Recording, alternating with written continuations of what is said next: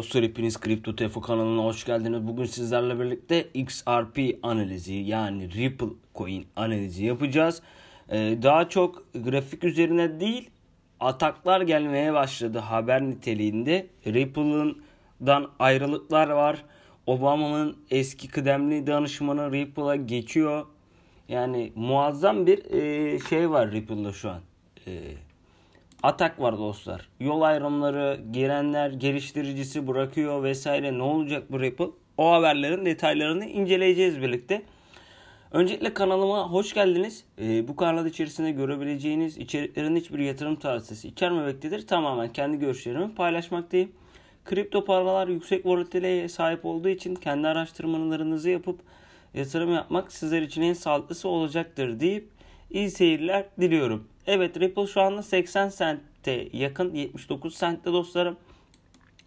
EMA'ları kontrol ettiğimde bir e, kesişim burada geldi. 13 Mart 7 mumunda bir yükseliş göstergesi var. Buradan Ripple'ın gidebileceği e, kısa vadede maksimum nokta bana göre 85 cent. Alımlar burada 12 Mart ve 11, 11 Mart 21 e, şeyde 11'de gece ve 3 açılışında güzel hacimli bir alım olmuş. 2 alım var 8 saatlik içerisinde. Fakat gördüğünüz gibi 85 senti kıramamış. Daha sonra e, kendini 50 saatlik 100 saatlik hareketli ortalamaya kadar geri atmış. Şu anda da e, nerede? 50 saatlik hareketli ortalamanın çok çok yukarısında bir 85 sent denilmesi gelebilir Ripple'da. Bu benim kendi görüşümdür. Gördüğünüz üzere Fed faiz e, arttırımına gitti ama Bitcoin ve altcoin'ler sağlam kaldı. Bu güzel.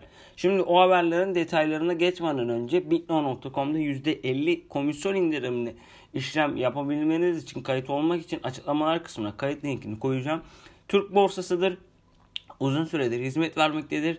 Açıklamalar kısmında kayıt linki var. İsterseniz gidip kayıt olabilirsiniz. Yüzlerce altcoin bitlo.com'da. Şimdi dostlar Ripple'da yol ayrımı 43 dakikalık bir haber.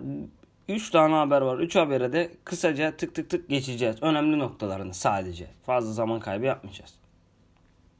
Yaklaşık 1,5 yıldır ABD Menkul Kıymetler ve Borsa Komisyonu yani SEC ile kayıtsız menkul kıymet satışı davasında mücadele eden Ripple'da önemli bir işten ayrılma gerçekleşti.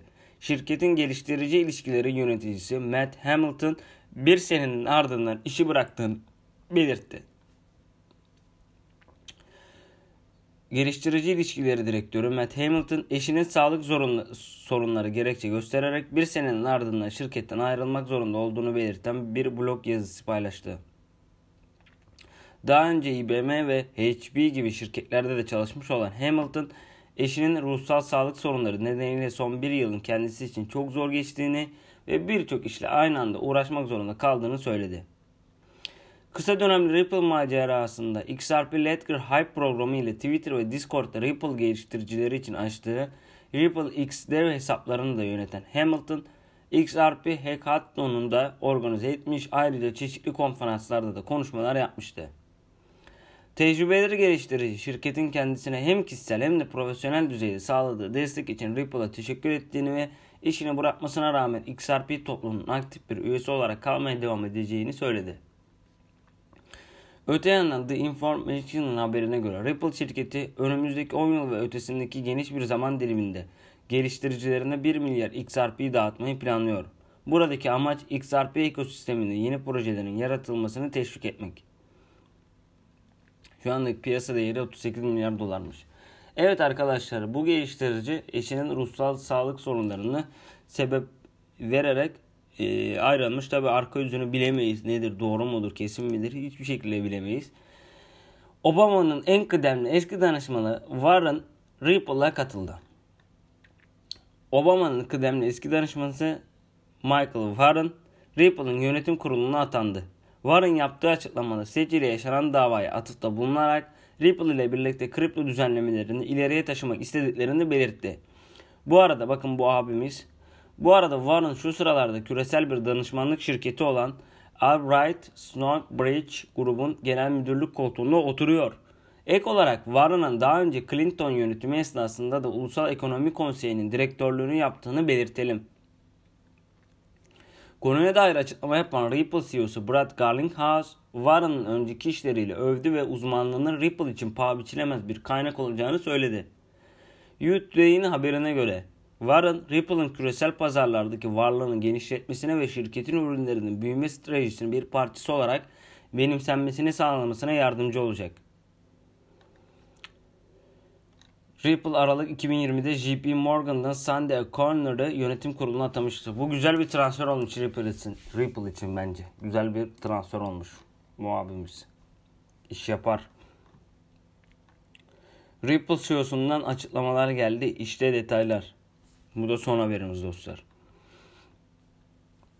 Ripple sistemin kurbanı oldu. ABD'deki federal kurumların birbirleriyle işbirliği yapmasını öneren kripto para yürütme ve farklı düzenleyici kurumların kripto paralar hakkında farklı görüşlere sahip olduğu bir ülkede sorunları çözebilir. Tüm ilgili kurumların işbirliği yapması ve kripto para endüstri için genel bir kural oluşturması yatırımcıları kripto para kullanılmasından kaynaklanabilecek olası risklerden korurken gelişmekte olan endüstrinin büyümesini de sağlayacak. Garling House kararnamenin sadece Ripple için değil aynı zamanda tüm kripto para endüstrisi için bir zafer olduğunu düşünüyorum. Çünkü Sage sürekli olarak önceki eylemlerinde görüldüğü gibi kripto endüstrisi üzerindeki kontrolünü genişletmeye çalıştı ifadelerini kullandı. Ripple CEO'su Sage'in kripto paralara yönelik sert tavrının sektördeki firmaların Sage ile başını belaya sokmaktan korktuğunu gelişmekte olan endüstrinin rekabet gücünü azalttığını da sözlerine ekledi. Yöneticiye göre Sage'in ABD'deki kripto para sektörünün rekabet gücünü azalttığını şüphe yok. Kurum yetkililerin dışında hareket ediyor. Dünyada XRP'yi menkul kıymet olarak kabul eden tek ülke ABD. Ripple, İngiltere, İsviçre, Japonya, Birleşik Arap Emirlikleri, Singapur'da başarıyla çalışıyor. Tüm bu ülkeler XRP'nin bir para birimi olduğunu kabul etti.